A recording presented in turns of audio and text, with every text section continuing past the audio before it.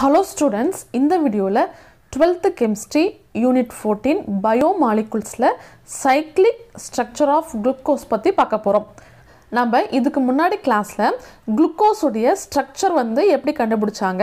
அதுக்கு எவிடன்ஸை என்னென்ன ரியாக்ஷன் செஞ்சு பார்த்தாங்க? அப்படிங்கிறதெல்லாம் வச்சு ஃபிஷர் ப்ரொஜெக்ஷன் ஃபார்முலாவில் இதுதான் வந்து குளுக்கோஸுடைய ஸ்ட்ரக்சர் அப்படின்னு நம்ம கொடுத்துருந்தோம்.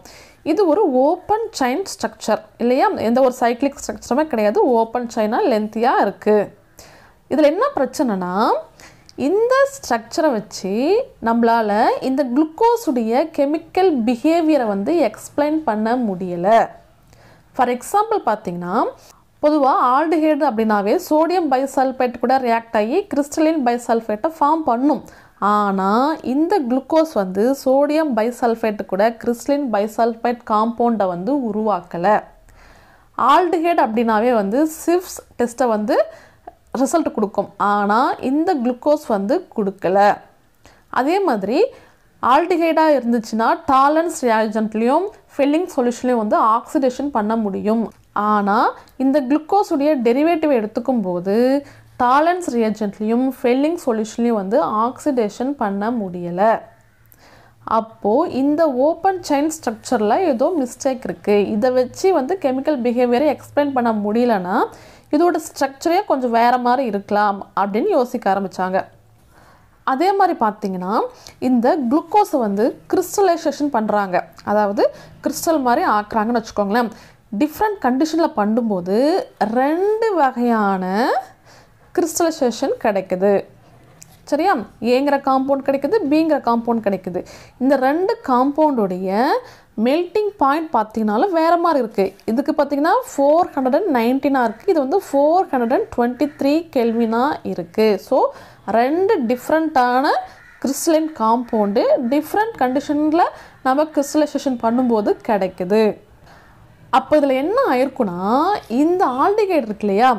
இந்த ஆல்டிகேட் குரூப்பு ஏதோ ஒரு ஆல்கஹால் குரூப் கூட ரியாக்ட் ஆகிருக்கணும் அப்போது இந்த ஸ்ட்ரக்சர் இதோட ஸ்ட்ரக்சர் பார்த்திங்கன்னா பென்டா ஹைட்ராக்சில் ஆல்டிஹைட் ஸ்ட்ரக்சரில் இருக்குது அதாவது பென்டா அஞ்சு ஹைட்ராக்சில் பென்டா ஹைட்ராக்சில் ஆல்டிஹைட் ஸ்ட்ரக்சராக நம்ம வந்து ஃபஸ்ட்டில் சொல்லியிருந்தோம். ஆனால் இந்த மாதிரி கெமிக்கல் பிஹேவியர் வந்து வேறு வேறு மாதிரி இருக்குது இதை வந்து ரெண்டு விதமாக கிறிஸ்டலைசேஷன் பண்ணும்போது வேறு வேறு ப்ராடக்ட்ஸ் கிடைக்குது. ஒவ்வொன்றுத்துக்கும் மெல்ட்டிங் பாயிண்ட்டும் வேறுபட்டு இருக்குது அப்போது இதிலிருந்து என்ன தெரியுதுன்னா இந்த ஆல்டிகேட் குரூப்பு ஏதோ ஒரு ஹைட்ராக்சில் குரூப் கூட ரியாக்ட் ஆகி அது வந்து ஹெமி அசிட்டல் ஃபார்முக்கு வந்திருக்கும். ஹெமி அசிட்டல் ஃபார்மில் வந்து மாறி இருக்கும் அதாவது இந்த ஓப்பன் சைன் வந்து ஓப்பன் சைன்லாம் இல்லாமல் இந்த ஆல்டிகைடு வந்து ஒரு ஓஹெச் கூட ரியாக்ட் ஆகி ஒரு சைக்ளிக் ஸ்ட்ரக்சருக்கு மாறி இருக்கும் அதனால தான் இந்த டெஸ்டெல்லாம் வந்து அது ரிசல்ட் கொடுக்கல. அதே மாதிரி ரெண்டு விதமான கிறிஸ்டல் காம்பவுண்டையும் உருவாக்கியிருக்கு. இப்போ பார்த்திங்கன்னா இந்த சிஹெச்ஓவும் இந்த ஃபிஃப்த்து இது வந்து first carbon second third fourth fifth இந்த ஃபஸ்ட்டு இருக்கக்கூடிய ஆல்டிஹைடும் இந்த ஓஹெச்சும் ரியாக்ட் ஆகி ஒரு சைக்ளிக் ஸ்ட்ரக்சர் ஃபார்ம் பண்ணியிருக்கும் அது எப்படின்னா இதுதான் வந்து குளுக்கோஸுடைய ஓப்பன் செயின் ஸ்ட்ரக்சர் இப்போ நம்ம என்ன பார்த்தோம்? இந்த ஆல்டிஹைடும் இந்த ஹைட்ராக்சிலும் வந்து கனெக்ட் ஆகி ஒரு சைக்ளிக் ஸ்ட்ரக்சரில் ஃபார்ம் ஆயிடுச்சுன்ட்டு. எப்படின்னா இது வந்து ஃபஸ்ட்டு கார்பன் இது வந்து ஃபிஃப்த்து கார்பன் இந்த ஃபஸ்ட்டு கார்பனையும் ஃபிஃப்த்து கார்பனையும் வந்து இந்த ஆக்சன் ஆட்டம் வந்து கனெக்ட் பண்ணியிருக்கு இப்போ ஸ்ட்ரக்சர் போட்டிங்கன்னா ஆறு கார்பன் அதே மாதிரி தான் இருக்குது லாஸ்ட் கார்பன் எப்பயும் போல் சிஹெச் டூ ஓஹெச் தான்.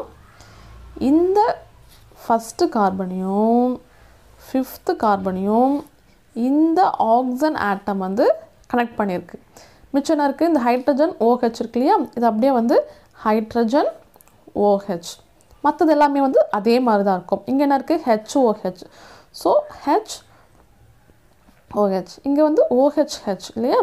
ஓஹெச் ஹெச் இங்கே வந்து ஹெச் ஓஹெச் இது ஒரு ஃபார்ம் இதோடைய மெல்டிங் பாயிண்ட் தான் வந்து four hundred and ninety kelvin பார்த்தோம்.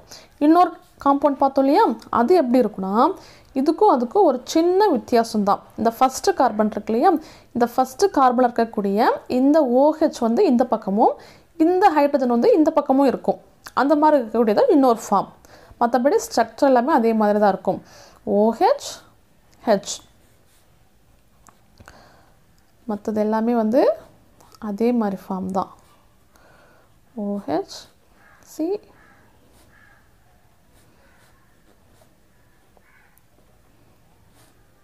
சேம் இந்த ஃபஸ்ட்டு கார்பனையும் ஃபிஃப்த்து கார்பனையும் ஆக்சிஜன் ஆட்டம் வந்து கனெக்ட் பண்ணியிருக்கு. இதோடைய மெல்டிங் பாயிண்ட் தான் four hundred and twenty three kelvin சரி இதுக்கு இதுக்கு என்ன பேர் அப்படின்னா இப்போது இதோடைய பேர் வந்து ஆல்ஃபா. அதாவது ஓஹெச் வந்து ரைட் சைடில் இருக்குது ஸோ இது பேர் ஆல்ஃபா டி குளுக்கோஸ். இது வந்து இந்த ஓஹெச் வந்து லெஃப்ட் சைடில் இருக்கு இல்லையா? ஸோ இது வந்து பீட்டா டி குளுக்கோஸ். இந்த டி குளுக்கோஸ் அப்படிங்கிறது நம்ம இங்கே எடுத்துக்கிட்டது டி குளுக்கோஸ் எடுத்துக்கிட்டோம். டி குளுக்கோஸ் அப்படிங்கிறது பிளேன் ஆஃப் போலரைஸ் லைட்டை வந்து கிளாக் ஃபைஸில் ரொட்டேட் பண்ணக்கூடிய காம்பவுண்டு தான் வந்து டெக்ஸ்ட்ரோ காம்பவுண்டுன்னு சொல்லுவோம். ஸோ அது வந்து டி குளுக்கோஸ் இந்த டி குளுக்கோஸ் தான் வந்து கிறிஸ்டலைஸ் பண்ணும்போது டிஃப்ரெண்ட் கண்டிஷனில் கிறிஸ்டலைஸ் பண்ணும்போது ரெண்டு விதமான காம்பவுண்டை உருவாக்குது. ஒன்று வந்து ஆல்ஃபா டி குளுக்கோஸ் இன்னொன்று வந்து பீட்டா டி குளுக்கோஸ் இதுக்கு பேர் தான் வந்து ஆனோமர்ஸ்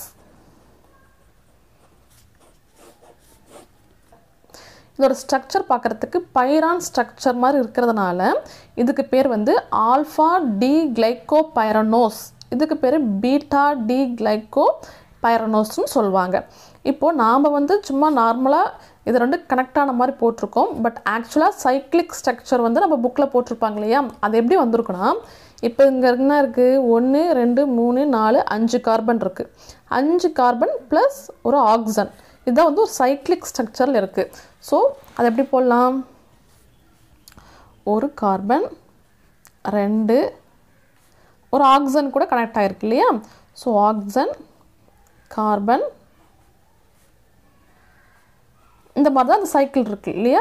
ஒரு ஆக்சன் இருக்குது மிச்சம் வந்து அஞ்சுமே கார்பனாக இருக்குது இப்போ எது எது கூட ஜாயின் ஆயிருக்கு அப்படிங்கிறத அப்படியே எழுத வேண்டியது தான் இப்போ ஆக்சன் எங்கே இருக்குன்னா ஆக்சன் கூட கனெக்டான கார்பன் இங்கே ஆக்சன் இருக்குது ஆக்சன் கூட கனெக்டான கார்பனில் என்ன இருக்குது சிஹெச் டூ ஓஹெச் இருக்குது இல்லையா?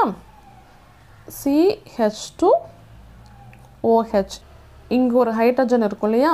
இந்த ஹைட்ரஜன் அப்படியே தானே இங்கே இருக்கும். ஸோ இந்த ஆக்சன் கூட கனெக்டான கார்பனில் C H two O H இருக்குது அதே மாதிரி ஹெச் இருக்குது ஸோ இங்கே வந்து ஹெச் அதே மாதிரி ஆக்சன் இருக்குது ஆக்சிஜன் கனெக்ட் இன்னொரு கார்பன் இன்னொரு கார்பனில் இருக்குது மேலே வந்து ஹைட்ரஜனும் கீழே வந்து ஓஹெச் இருக்குது ஸோ ஹைட்ரஜன் ஆக்சிஜன் ஸோ மற்றது எல்லாமே வந்து அங்கே எப்படி இருக்கோ அப்படியே எழுத வேண்டியது தான் ஹைட்ரஜன் ஹைட்ராக்சில் இங்கே வந்து OH, ஓஹெச் ஹெச் இங்கே வந்து ஹெச் ஓஹெச் OH. சரியா? இப்போ இந்த ஸ்ட்ரக்சரை எழுதும்போது இந்த ஃபஸ்ட்டு கார்பன் இருக்கு இல்லையா? இந்த இடம் மட்டும் மாறி இருக்கும். இங்கே வந்து ஓஹெச் மேலேயும் ஹெச் கிளியும் போடணும். இந்த ஓஹெச் மேலேயும் ஹெச் கிளியும் போட்டால் இந்த ஸ்ட்ரக்சருக்கு வந்துடணும். ஸோ சைக்ளிக் ஸ்ட்ரக்சரில் குளுக்கோஸ் வந்து இந்த மாதிரி தான் வந்து எழுதுவாங்க. அடுத்ததாக இந்த ஆனோமர்ஸுடைய ஸ்பெசிஃபிக் ரொட்டேஷன் ஸ்பெசிஃபிக் ரொட்டேஷன் என்னென்னா இப்போது ஆப்டிக்கல் ஆக்டிவிட்டி என்னது? ஒரு பிளேன் ஆஃப் போலரைஸ் லைட்டை வந்து ரொட்டேட் பண்ணால் அது வந்து ஆப்டிக்கல் ஆக்டிவிட்டி ஸ்பெசிஃபிக் ரொட்டேஷன் அப்படிங்கிறது அந்த ஆப்டிக்கல் ஆக்டிவிட்டி எந்த ஆங்கிளில் ரொட்டேட் பண்ணுது அப்படின்னு சொல்லக்கூடியதான் வந்து ஸ்பெசிஃபிக் ரொட்டேஷன் அதுபடி பார்க்கும்போது ஆல்ஃபா டி குளுக்கோஸோடைய ஸ்பெசிஃபிக் ரொட்டேஷன் வந்து ஹண்ட்ரட் அண்ட் டுவெல் டிகிரியாக இருக்கும். அதே மாதிரி இந்த பீட்டா டி குளுக்கோஸ்க்கு வந்து எயிட்டீன் பாயிண்ட் செவன் டிகிரியாக இருக்கும்.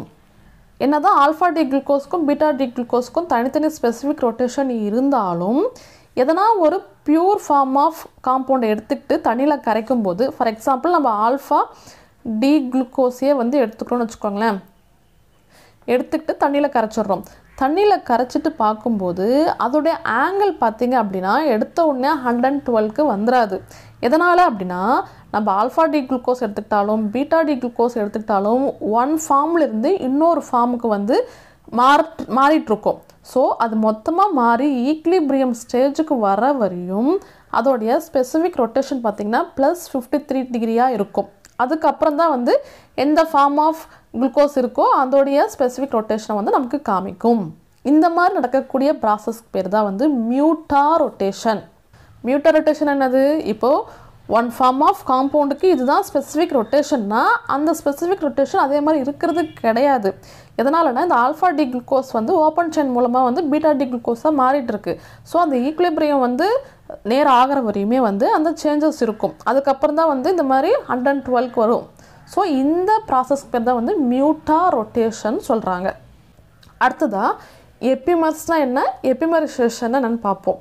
இப்போது எபிமஸ் அப்படிங்கிறது இந்த அசிமெட்ரிக் கார்பன் இருக்கு இல்லையா? அசிமெட்ரிக் கார்பன் அப்படிங்கிறது கார்பனை சுற்றி இருக்கக்கூடிய எல்லா குரூப்புமே வந்து வேறு வேறு மாதிரி இருக்கணும். அப்படி இருக்கக்கூடியது தான் வந்து அசிமெட்ரிக் கார்பன் சொல்லுவாங்க. ஸோ குளுக்கோஸில் பொறுத்தவரை இந்த அஞ்சு இருக்குது எபிமர்ஸ் என்னென்னா இந்த அசிமெட்ரிக் கார்பன் இருக்கு இல்லையா? இந்த கார்பனுடைய கான்ஃபிகரேஷன் மாறி இருந்துச்சுன்னா அதுக்கு பேர் எபிமர்ஸ் ஃபார் எக்ஸாம்பிள் பார்த்தீங்கன்னா இப்போது இதுதான் வந்து டி குளுக்கோஸ் இதில் இப்போ இந்த ஸ்ட்ரக்சருக்கும் இந்த ஸ்ட்ரக்சருக்கும் என்ன வித்தியாசம் பாருங்கள் இது வந்து ஃபஸ்ட்டு கார்பன் இது வந்து செகண்டு இது தேர்டு இது ஃபோர்த்து இது ஃபிஃப்த்து சிக்ஸ்த்து இப்போது இது எல்லாமே ஒரே மாதிரி தான் இருக்குது ஆனால் இந்த செகண்ட் பாருங்கள் இந்த செகண்ட் கார்பன் கிட்ட இதோடைய கான்ஃபரேஷன் பாருங்கள் இது வந்து ஹெச்ஓஹெச்னு இருக்குது இது வந்து ஓஹெச்ஹெச்னு இருக்குது ஸோ இந்த செகண்ட் அசிமெட்ரிக் கார்பனுடைய கான்ஃபிகரேஷன் வந்து மாறி இருக்குது ஸோ இந்த மாதிரி அசிமெட்ரிக் கார்பனுடைய கான்ஃபிகரேஷன் மாறி இருந்துச்சுன்னா அதுக்கு பேர் எபிமஸ் இப்போ வந்து செகண்ட் பொசிஷனில் வந்து மாறி இருக்கு இல்லையா? ஸோ இதுக்கு பேர் வந்து சி டூ எபிமஸ்ன்னு சொல்லுவாங்க இந்த மாதிரி ஒரு எபிமர்லேருந்து இன்னொரு எபிமராக மாறுது இல்லையா? இந்த ப்ராசஸ்க்கு பேர் தான் வந்து எபிமரைசேஷன் சொல்லுவாங்க இப்போ இதில் பாருங்கள் இதில் வந்து இந்த ஃபோர்த்து கார்பன் பாருங்கள் இங்கே வந்து ஹெச்ஓஹெச்னு இருக்குது இங்கே வந்து ஓஹெச்ஹெச்னு இருக்குது அப்போது இது என்ன எபிமர் இது வந்து சி ஃபோர் எபிமர் அதோட பேரை மாறும் பாருங்கள் இது வந்து டி குளுக்கோஸ்னால் இந்த செகண்ட் எப்பிமர் செகண்ட் பொசிஷன் மாறி இருந்துச்சுன்னா அதோட பேர் வந்து டி மேனோஸ் அதே மாதிரி ஃபோர்த் மாறிச்சுன்னா அது பேர் டி கேலக்டோஸ் இந்த மாதிரி ஒரு எப்பிமர்லேருந்து இன்னொரு எப்பிமராக வந்து தானாக மாறிடாது. அதுக்கு வந்து என்சைம் தேவை. அந்த என்சைம் தான் வந்து ஒரு ஃபார்ம் ஆஃப் எப்பிமர்லேருந்து இன்னொரு ஃபார்ம் ஆஃப் எப்பிமருக்கு மாற்றும் என்ன என்சைம்னா எப்பிமரேஸ் எப்பிமரேஸ் அப்படிங்கிற என்சைம் தான் ஒன் ஃபார்ம் ஆஃப் காம்பவுண்ட்லேருந்து இன்னொரு ஃபார்ம் ஆஃப் காம்பவுண்டுக்கு மாற்றுது ஸோ அதனால தான் இது வந்து எப்பிமர்ஸ்னு சொல்கிறாங்க நம்ம உடம்புல கூட டி கேலக்டோஸ் அப்படிங்கிற காம்பவுண்ட் வந்து குளுக்கோஸாக வந்து கன்வெர்ட் பண்ணுது. இந்த எப்பிமரேஸ் அப்படிங்கிற என்சைம் ஸோ இந்த ப்ராசஸ் தான் வந்து எபிமரைசேஷன்